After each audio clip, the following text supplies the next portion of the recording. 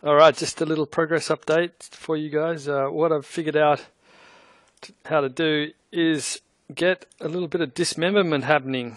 Uh, here's my little uh, robot guy. So when I when I hit him, the the bits come off, which is uh, very very satisfying after much um, much work.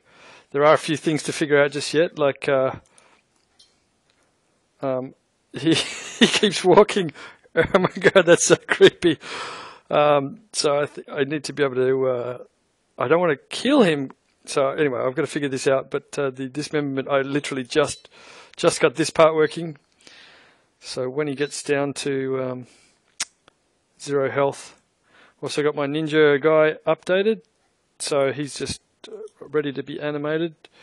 His ragdolls are working perfectly. Um, and uh, yeah, figured out I needed to add another bone for the attack.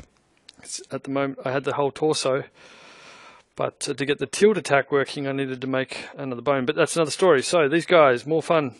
Off with your arm, mate, and your head, and then the wriggly bits. it's it's really awesome. Oh, that was a bit of a swing and a miss. Come back here. So uh, yeah, he's um, when when he's got zero health, then they'll detach. So yeah, set to 300, so his little legs is no longer part of it. Hey there, buddy.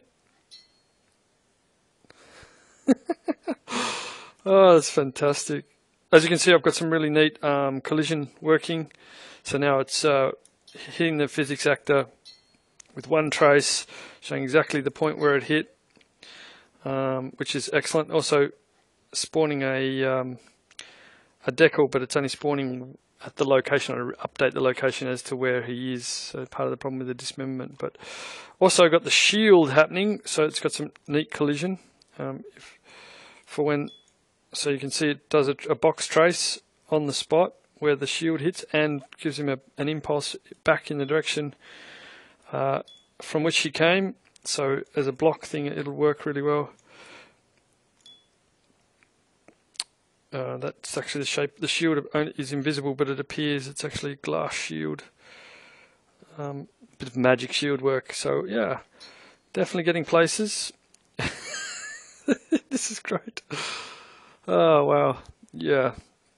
I, I think uh, it's a big improvement. So anyway, that's today's update, and keep watching this space. It's getting more and more interesting as time goes on, and I'm having a lot of fun. So that's the main thing. Uh, I just rebuilt another map with a few bits and pieces. I mean, it's been a few minutes, but uh, uh, the arena style type thing for the demo that I have in mind. So yeah, thanks for watching. Like the video if if you if you do, and oh, you can't hear the sound effects, can you? Never mind. Take your bits with you. The robot. I'm going to call him Hoppy. Hoppy, come back, man. So I need to detach the bits that have been, the bones that have been removed. Mm, keep the blend weight on one for those, I guess. Anyway, thanks for watching.